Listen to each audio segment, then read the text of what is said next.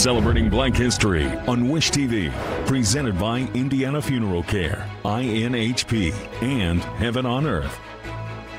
Well, getting an education for a time was outlawed for black people. Those who did learn to read and write had to learn in secret. While no longer the case, historians say some of the impacts of that time still has remnants in education today. News 8's Katiera Winfrey has more. Historians say during slavery, educating black people was part of the path to liberation. And education advocates say limited expectations, negative assumptions, and stereotypes of black students often have roots that stretch back to slavery and segregation. And although there's been a lot of progress, there's still work to do.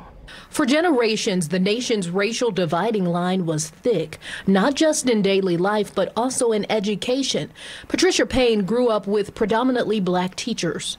I have nothing but beautiful memories of my childhood and my school experiences. Years after the Brown versus Board of Education mandated the integration of schools, Payne had her first white teacher after enrolling in Shortridge High School, where black teachers weren't allowed to teach. It was a good education, it just wasn't the same because we were a few of the black students who were who were there. Lasana Kazembe is an Africana Studies professor at IUPUI. He says school integration came with possibly unintended consequences.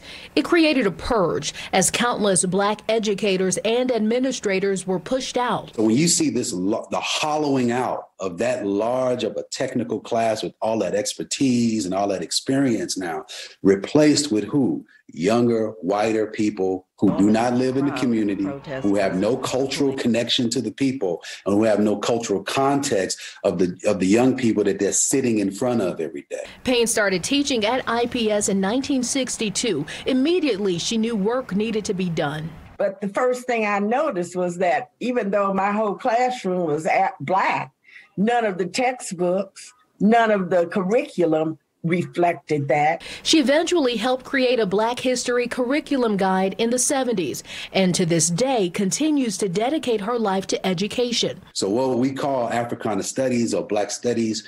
All that is is the missing pages of world history. Kazembe agrees, saying you'd always find slavery in the history books, but the deeper history wasn't there, and to some degree is still missing even today. Last summer, the IPS school board voted to approve the racial equity policy, which in part aims to reduce racism and cultural bias. Payne serves as its director. Reporting in the studio, Katiera Winfrey, Wish TV, wishtv.com, and follow us on Facebook. Katiera, thank you. Your statewide news network covers Allen County. The city of Fort Wayne looking for artists to help create a memorial to honor the life and legacy of Dr. Martin Luther King Jr. They want the sculpture to include quotes from a speech King gave in Fort Wayne back in 1963. Submissions due March 21st. The committee will then meet to select the finalists. The city's Public Art Commission is raising money to create and install the memorial.